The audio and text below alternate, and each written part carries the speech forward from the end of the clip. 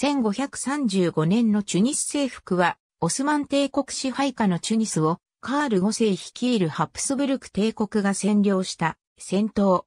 オスマン帝国によって滅んでいたハフス朝がスペインの保護国として一時的に復活した。1533年、オスマン帝国のスルタンスレーマン一世は、バルバリア海岸、アルジェの海賊バルバロス・ハイレッディンに、コンスタンティノープルの造船所で巨大軍艦を建造するよう命じた。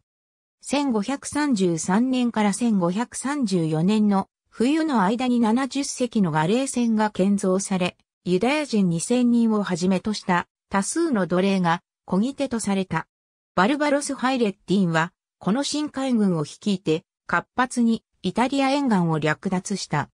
1534年8月16日、彼はスペインの属国ハフスアサの首都チュニスを征服し、アミールのハサン・ムハンマド6世を追放した。彼は宿敵マルタ騎士団のいるマルタ島に睨みを利かせるチュニスに拠点を置いた。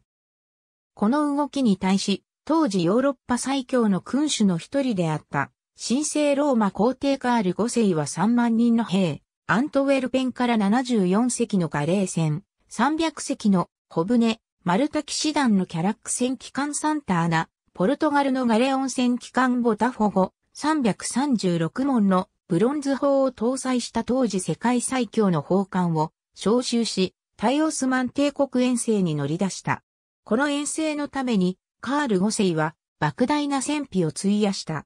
彼はドナウ川地方でのオスマン帝国との戦いに100万、ドゥカートをつぎ込んでおり、チュニス遠征の戦費も同じくらいであったと推定されている。こうした莫大な費用は、新大陸からガレオン船で運ばれてくる金銀に依存していた。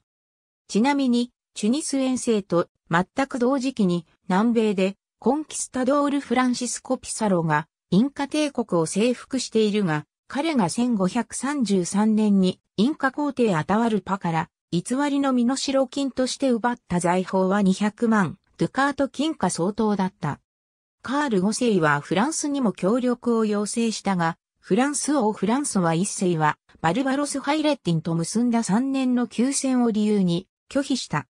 それどころか、フランソワ1世は秘密裏にスレーマン1世との間でタイカール5世同盟を画策しており、これが1536年に成立することとなる。彼は、教皇パウルス3世から求められたカール5世の遠征中の不可侵にのみ同意した。1535年6月1日、カール5世は、ジェノバ艦隊と共に、バルバロス・ハイレッティンの艦隊を破り、チュニスに隣接する港町ラグレット攻略に取り掛かった。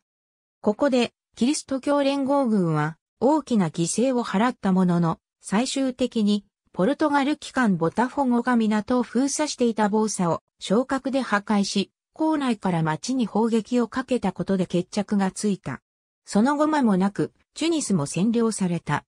町を占領したスペイン部隊が廃墟を探索していた際、フランスのモンショーフルールドリスがついた砲弾が発見され、ここでフランスとオスマン帝国の結託が露見することとなった。この戦いでチュニス市内に残っていた推定3万人のムスリム住民が虐殺された。バルバロス・ハイレッティンは数千人のトルコ人部隊を拾ってアルジェに逃れた。ハサン・ムハンマド6世はアミールイを取り戻した。死体の悪臭に耐えかねたカール5世は間もなくチュニスの南東のラデスニ人を移した。